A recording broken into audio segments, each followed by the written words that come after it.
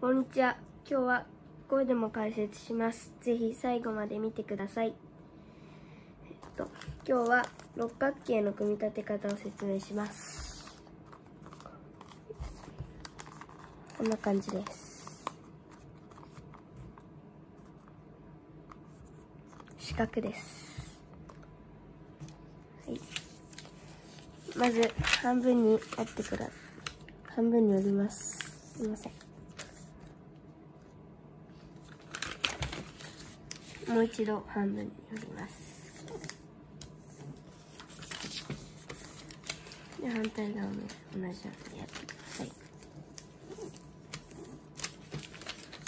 そしたら、ここの面がここの面に来るように、こういう風に折ってください。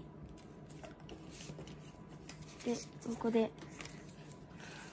こう、こうじゃなくて、こうなるように、反対側も同じように折ってください。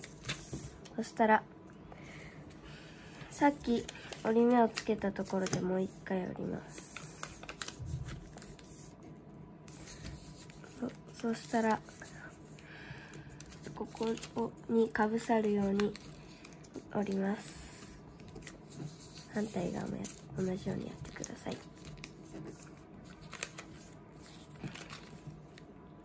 そしたら、ここの部分をこの中に入れてください。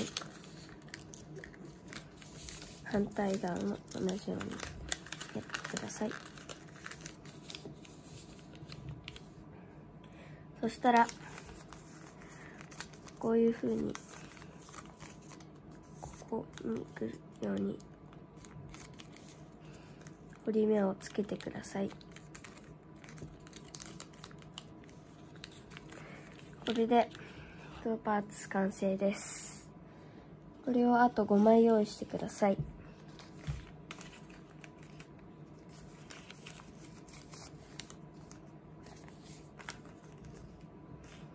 はい。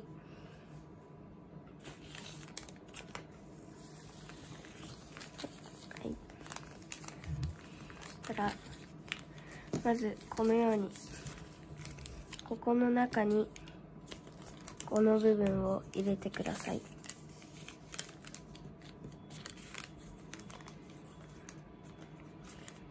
はい、そしたら、こうなって、で、また同じように、ここの部分に、ここ、この部分を入れてください。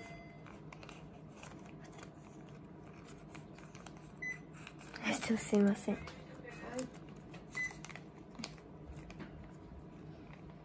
はい、そしたら、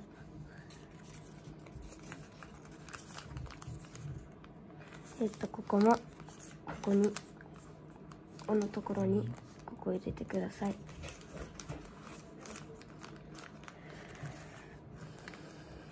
で、ここも同じようにやってください。で、現在このようになってます。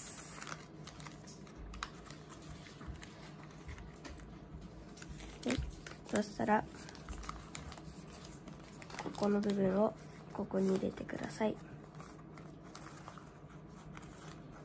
で、ここのかぶさってるここの三角形の部分も同じようにこの子に入れてください。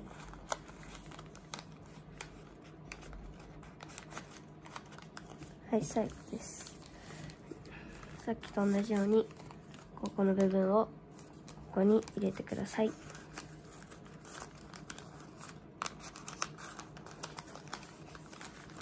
も同じようにやってください。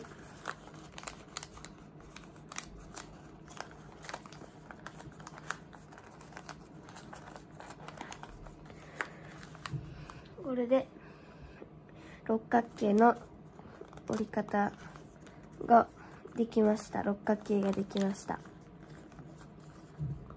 完成です。途中ちょっと音が変な音が入ってしまって申し訳ございません。はい。ではまた次の動画で会いましょう。